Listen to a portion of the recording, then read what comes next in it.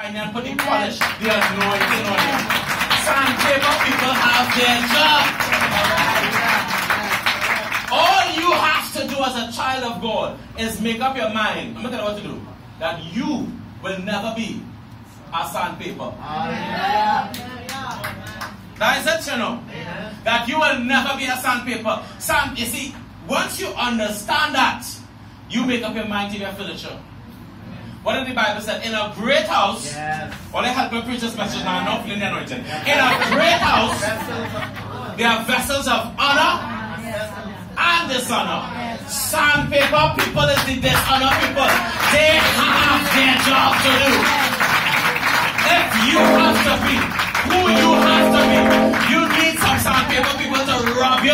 The wrong way. You need some people to rub you so you go down on your knees and you say, God, give me strength to deal with sister so and so. Give me strength, I don't have any, to deal with brother so and so. Give me strength.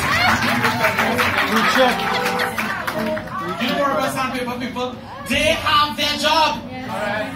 They have their job. Amen. Jesus. Jesus. They're not making my feet to preach. Watch this. okay, here we go. Luke 15 21, the story now. And, and the son said unto him, Father, I have sinned against heaven and in thy sight, and am no more worthy to be called thy son. But the father said to his servants, Bring forth the best robe, my God, and put it on him, and put a ring on his hand, and shoes on his feet. The man had no shoes on his feet, Jesus. And bring hither the fatted calf, and kill it, and let us eat and be merry. For this my son was dead and is alive again. He was lost and is found. And they began to be merry. Now his elder son was in the field. And as he came and drew nigh to the house, he heard music and dancing.